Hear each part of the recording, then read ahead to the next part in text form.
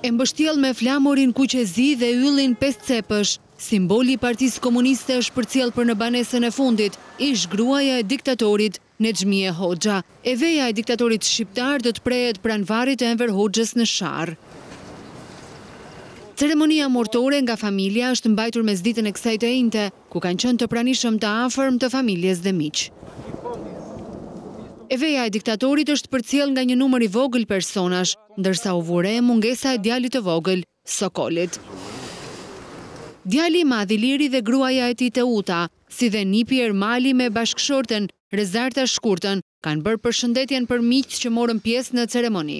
Nexhmije Hoxha u nda nga jeta në moshën nëntëdhjetë e nëntë vjeçare këtë të mërkurë për shkaqe natyrale.